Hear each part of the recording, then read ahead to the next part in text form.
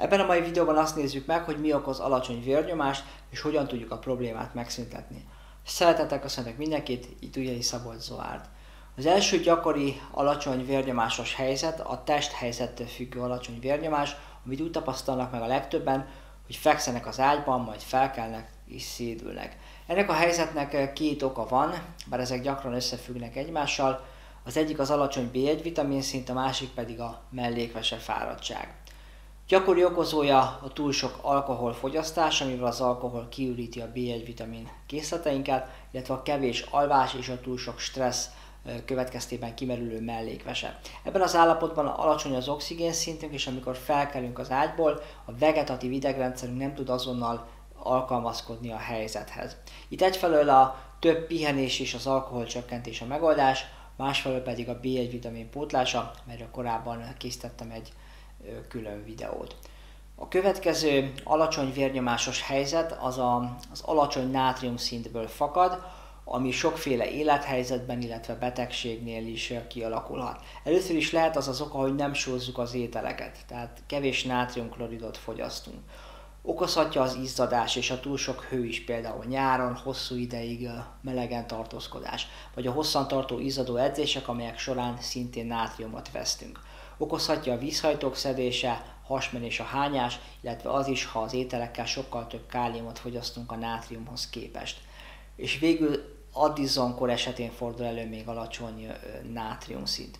Mindegyik esetben a megoldás a só bevitele ételekkel, italokkal, tehát a nátriumklorid pótlás, amire a legjobb a patikai minőségű tiszta só, ami 99% felett tartalmaz nátriumkloridot. A harmadik eset, ami alacsony vérnyomással jár, a vérszegénység, melynek hátterében alacsony vas, B12 és folsav szint van. Itt a megoldás első lépése kideríteni, hogy miért alacsony a szintjük a szervezetünkben. A legtöbb esetben felszívódási gondok miatt, például mert gyenge a gyomorsavunk, vagy például olyan gondok megléte miatt, mint az IBS vagy a cölikália. Okozhatja vérszegénységet a túl gyakori és túl sok fitinsav tartalmú étel bevitele, ami gátolja a vasnak a felszívódását. Az alacsony B12 vitamin szint például ugye vegánoknál, illetve a túl sok kálcium is csökkenti a vas érvényesülését a testünkben. Itt a megoldás az emésztőrendszer rendbetétele, a gyomorsav erősítése például bőjtöléssel, almácettel, betainhidrokloriddal, a bélrendszer regenerálása bélflóra és bélfal támogató ételekkel, és a vas, a B12, illetve a folsav pótlás nagy mennyiségben elsősorban élő ételekkel. A negyedik oka lehet a gyenge szívizom, az alacsony pulzusszám, a szívbillentyűt érintő betegségek, tehát a szív nem tud pumpálni elegendő vért. Ezt az állapotot a szív- és jelrendszeri betegségeken túl okozhatja a pajzsmirigy alulműködés is. Itt a megoldás a szív- és jelrendszer állapotának javítása, illetve a pajzsmirigy alulműködés kezelése. Itt kell megemlíteni a vérnyomás csökkentő gyógyszereket is, azon belül is az alfa és a beta receptor blokkolókat, amelyek szintén alacsony vérnyomást okozhatnak. Lehetséges egy olyan állapot is, amikor étkezések után csökken a vérnyomás, ami szédüléssel jár, és általában csak pár tíz percig tart. Ha a vegetatív idegrendszerünk nincs túl jó állapotban, például a túl sok stressz miatt, a testünk az étkezés után a vér jelentősebb részét fogja a gyomorhoz és a belekhez koncentrálni, tehát az agyból sok vér megy le a az emésztőrendszerhez, és ez okozza a rövid ideig tartó e, alacsony vérnyomást.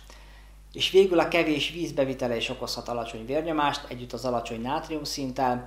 Ezt általában mindenki megtapasztalta már, ha hosszabb ideig kevés vizet, folyadékot iszik, sokat kiizzad, például a melegben, az szédüléssel, vérnyomás csökkenéssel jár. Ha szeretnéd, hogy más is megtudjon többet az alacsony vérnyomás okairól és megoldásairól, nyomj egyet a videó alatti tetszik gombra, mert így a YouTube másoknak is fel fogja ajánlani ezt a videót megtekintésre. Jó egészséget kívánok neked, találkozunk a következő videóban, addig is az egészség legyen veled!